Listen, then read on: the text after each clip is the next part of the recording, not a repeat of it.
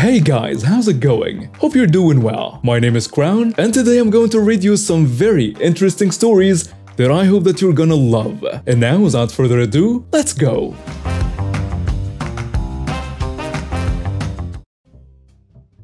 Backstory Basically, a new family moved into my neighborhood. The kid from the family was trying to introduce himself to other neighbors, and this was 2018 pre-COVID. I was playing Fortnite since I was bored of my other games and decided to try it out. So yeah, I was playing Fortnite in my room when I heard a knock at my front door. My mom answered the door and my mom told me about the conversation. Hi, can I help you? The entitled kid tells her, Yeah, I just moved in and I'm trying to make friends. Well, I have a son he's playing video games upstairs. I'm sure he wouldn't mind. Okay, cool, thanks. So he came up to my room and asked what I was doing. I said I was just playing some Fortnite. He asked if he could play and I said yeah, sure, go for it. He played a couple of games when his mom came and knocked. My mom directed her to my room and went back to the kitchen as she was cooking dinner. I told him see you later, and he seemed like a cool kid. The next day, my mom told me the kid called and asked if I wanted to come over, and I said yeah, sure, why not? So I brought my laptop over to his house and he asked if we could play Fortnite again. I said sure, sounds good. Then as he was playing I needed to use the bathroom. As I was on the toilet I overheard the kid and mother talking about my laptop. This happened 3 years ago, so this is how I remember the conversation. His mother asks him, Having fun? Yeah, the laptop is so cool. And I can play Fortnite, I wish I had it. Well then, we can keep it. You wouldn't mind anyway. Really? Thanks, Mom. I was shocked when I heard this. I quickly finished up and came back. I said hi to his mom and said, It's best if I start going. The mom hesitated and said, No, stay. You're having fun. I said, Yeah, but I best be off. The mom then locked the door and said, You're not leaving. Where's the laptop? I said, What do you mean? It's mine. Apparently, the family was poor and deserved a laptop so he can continue being a good student. I told her to go buy one. You can get a cheap laptop or a console which also runs games. She said you're such a loser. You don't need one. You're 15 and he's 13 so why do you care? His mom wouldn't let me out until I gave the laptop. I tried to force my way out but then she threatened to hit me with a belt. I said fine, take it. I pretended to give the laptop then went to the bathroom and called my mom to call the police. Cops came around 10 minutes later with my mom and knocked hard. The entitled mother panicked and opened the door shakily. I explained what happened and proved it was my laptop by the certificate and the computer. And she ended up being arrested for attempted theft and a possible kidnapping. Her son still gives me death stares. Crazy. So this happened to my mom and me around 2 months ago. Background My parents and I live next to a park and several fields. During the lockdown tons of people went out to go for a walk there, even though they should stay at home. The streets around our neighborhood are quite narrow so they were crowded with parked cars and people walking on the street. Some lowlifes got aggressive when you drove past them, one son of a bee slapped my window because he had to drag his lazy self onto the sidewalk instead of further walking on the street. I just side-eyed him and drove off. When you drive through our main gate there is a 46 meters, around 150 feet. When you drive through our main gate there is around 150 foot long driveway leading to our house and the garages. When we are at home we usually leave the main gate open. This led to several cars standing in front of our garages and blocking the pathway. Most of our neighbors, my parents and me were pretty annoyed by those masses of cars and humans. A lot of people left their trash on the ground too. Another important fact. During the climax of the lockdown, there was a law forbidding you to be in a group bigger than two people, except family of course. Breaking this law resulted in a 200 euro fine. The story my mom and I went grocery shopping. On the way back home we were standing in our street, waiting for the gate to open so we could drive onto our estate. Then Mega Karen came along with her minions Karen and Mini Karen, each pushing their offspring in a buggy. There was enough space for them to walk past our car one by one, but it seems like the trinity of Karens wanted to walk side by side. Mega Karen approached our car and knocked on the driver's window. I lit the window down and she immediately started yapping that we are not allowed to drive or park. I stayed calm and asked her if she's joking.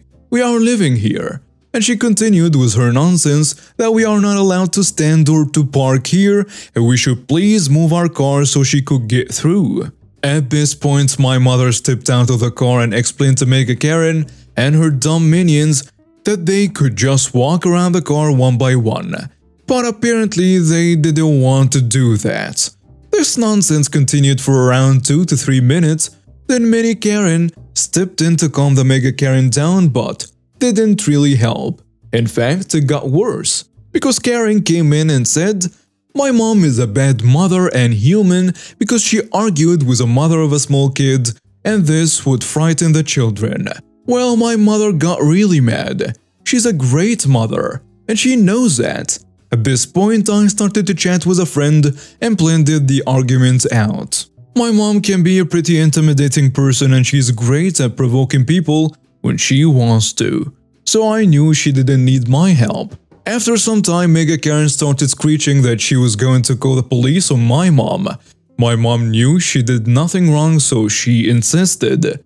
Mega Karen called the police, and she told him that she was just walking here and we started intimidating her for no reason and she felt threatened and yada yada yada. A short time after Mega Karen called the police, one policewoman and a policeman arrived. Immediately after they got out, Mega Karen and Karen started telling them that we threatened them, blocked the road and so on. The funny thing is that the policewoman called knows my mom. Her husband was a patient of her and they know each other from a local dog park. The policeman stayed with the Karens. Then later she came over to ask for our story too. After I did my statement, I asked the policewoman if I could leave. I needed to bring the groceries inside. She said yes, so I grabbed the groceries and I went in. Around half an hour later, my mom came in with a big evil grin on her face. Apparently Mega Karen, Karen and Mini Karen wanted to report us for threatening them, but the policewoman turned the tables on them and told them that they have violated the lockdown law and they need to pay 200 euros each. Apparently Mega Karen didn't like that, so she continued arguing with the cops. When they didn't do what she wanted, she got angry. She slapped the wing mirror from my mother's car, folding it forward and scratched the car. Tried to attack my mother and the policewoman and called the policeman who grabbed her dumb kid a son of a bee and told him to get lost, leading to her getting arrested. After her arrest, she tried to spit at my mother and told her she's going to regret this and that she will come after her. She faced charges for verbally and physically attacking a police officer, attacking and threatening my mother, and damaging my mother's car. Range Rover in a special effect British Racing Green equals very expensive to repair. She also needed to pay the 200 euros for disobeying the lockdown law. Several weeks later I heard from my dad, who's my mom's lawyer, that she had to pay a big fine, was on probation, and needed to pay the repair for my mother's car. A great thing though, she got a record leading to her getting investigated at her workplace. But the greatest thing, because she was divorcing from her father, at the same time, the lawyer of the husband used her little tantrum against her so she lost the main custody to her kid. There are so many insane people now. Context I was about 16 when this happened. My younger brother and I lived in a neighborhood with a lot of houses. Usually, a lot of kids quarreled, but that was about it. So one day, my brother and I went down to the playground to play.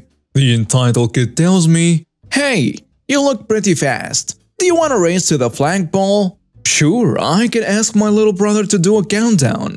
So my younger brother goes, Three, two, one, go. And so the entitled kid and I start running to the flagpole and at this point I'm way ahead of him. I won! Yay! I yell. How dare you beat me? I'm the fastest runner in the block. Let's have another round. So me and him race again and again for a long time as the entitled kid couldn't accept the fact that I was faster than him. Ah, I admit defeat. I'll be back. So my younger brother and I start playing catch, and it's here that the story gets interesting. Hey again! The entitled kid gets back. Um, hi. Then out of nowhere he pulls out a kitchen knife and attacks my leg. And there is a lot of blood that comes out. My younger brother yells at him, What the hell did you do? I'm in so much pain. The entitled kid runs away and the younger brother and I head home. What's happened to you? My mom asks. My brother tells her, and entitled kid outside stabbed brother in the leg. My mom bandages up my wound and gives me the first aid.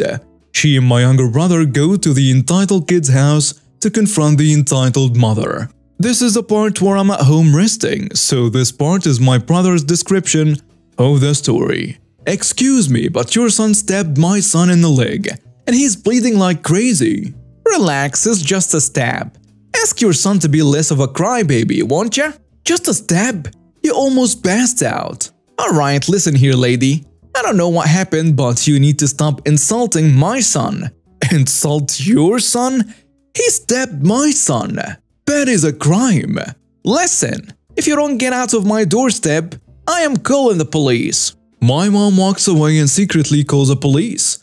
A few minutes later, the cops arrive and she goes back to the entitled mother's house. What's going on here? This lady's son stabbed my son in the leg and now she calls him a crybaby. Your son needs to stop being so whiny. Listen here, ma'am. Stabbing someone is a serious offense. It could lead to jail time. So what? What are you going to do about it, huh? Arrest me? Yes, that's what we're going to do.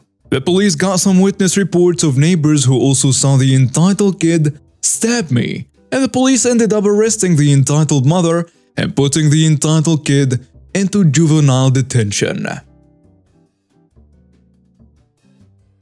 I recently posted a story to the sub about my girlfriend's entitled mother nearly ruining my and my parents' New Year's party. Sam, my girlfriend, didn't want to be with her mother on New Year's Day because of the way she acted the night before. Sam was at my house because she didn't really have anywhere else to be. My parents and siblings were out of the house because they were out at other parties and I opted to stay home with Sam. They know I hate going to other people's parties, especially with people I don't know.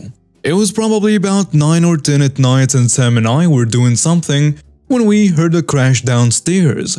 I thought it was my parents and we proceeded to do what we were doing. We heard another crash and knew something was up. I called my mom and asked where she was.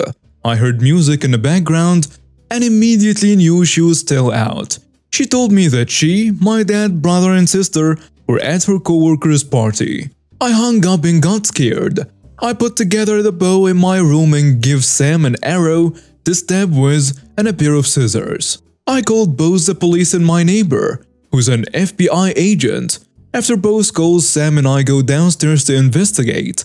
From the top of the stairs I can see a vase that my great-grandmother had given to us before she passed shattered on the floor. And I got a rush of emotion. Sadness, anger, the feeling of wanting to hurt the person who did this. Post my new PS4 Pro and PSVR were left out for the day because people were using them the night before. Both were gone with no traces of where they went. I was livid.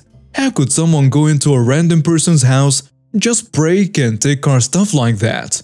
Sam and I walked into the kitchen. I see the entitled mother grabbing china and porcelain plates, silverware that were also given by my great-grandmother, and spices. We don't say anything and wait to see what she does. She finally turned around to walk away and saw us. She lightly placed the bag on the floor and pulled out a large kitchen knife, one of the ones from the house. Ah, I did not expect anyone to be here, she says. I tell her, police and my FBI neighbor are on their way as we speak. If you get me arrested, I will hurt you. She then charged me with her knife and I shot her in the leg with my bow that I had ready to shoot.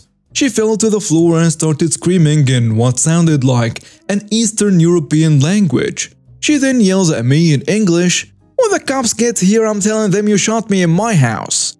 I told her to stay where she was and not to do anything. About 5 minutes later, I hear police sirens and a knock at the door. I open it and it's my neighbor and two armed police officers. I show them to where the entitled mother is laying on the ground, and she immediately starts yelling, He broke into my house, tried stealing my stuff, and shot me in the leg with a bow and arrow. One of the police officers tells her, But he was the one who called us. Lies! Those are all lies. My neighbor says, OP is my neighbor. He lives here. The entitled mother scowled at the neighbor and said, You're lying. You're just saying that to keep OP out of trouble. Do you have proof of residence? The other police officer asks her. It's in a safe. Okay, what's the password? It's APCD. I say, no, it's not. It's actually ZYXW. And proceed to input the real password. And the safe opens. No, that's not true. He must have reset the password or something. Oh yeah? We also have security cameras right there, there, there and there. The entitled mother's face just turned to shock as I went and showed both cops and my neighbor the security footage. She yelled at me, You little N-word. She and Sam are white and I'm half black. Nobody likes you or will ever like you. I don't understand why my daughter would date such a bad person as you. She probably just feels bad that no one likes you. She ripped the arrow out of her leg and threw it at me. The cops promptly arrested her and took her to the cop car. She was screaming obscenities and racial slurs towards me all the way to the car. I feel terribly bad for Sam because I got her mother arrested, but actions like that have consequences. Entitlement is an extremely stupid defense for this. Last night I came home and walked into the kitchen where my mother-in-law and wife are standing with an enormous bag of small carrot-shaped, white-root vegetables. Exhausted from a long day, I absent-mindedly asked, are those white carrots? The existence of radishes temporarily eluding my consciousness. My mother-in-law and wife in enthusiastic unison chime in that yes, they are indeed carrots. Go ahead and try one. My mother-in-law encourages with an overzealousness that brings me to my senses. My mother-in-law encourages with an overzealousness that brings me to my senses. No, no, these are not carrots. Game on, mama, game on. I will eat this raw root vegetable and get you two as well. I rinse one off and snack into it as my wife and mother-in-law attempt to stifle their giggles. I feign confusion at the reaction. What are y'all laughing about? My wife laughs and tells me, What's it taste like? Um, a carrot, I say. Maybe a little less sweet. You're lying. My mother-in-law shoots back. The lady who gave them to me said they are radishes. My face betrays nothing. I have crunched the pungent, peppery taste and melded it into an earnest mask of enjoyment. The sporadic laughter from my wife and mother-in-law has ceased. Well, I don't know who said that, but this definitely tastes like a carrot. Maybe I just got the one carrot mixed in with the radishes. I grab another, rinse it, and go to the chum town. Mid-chew, I double down.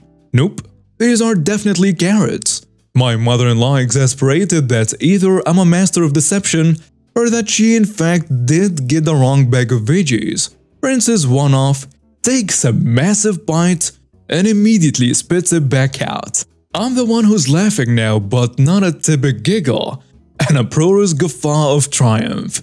I have won. Now to get the taste of radish out of my mouth. And now we have reached the end of today's stories. Thank you for watching and see you next time.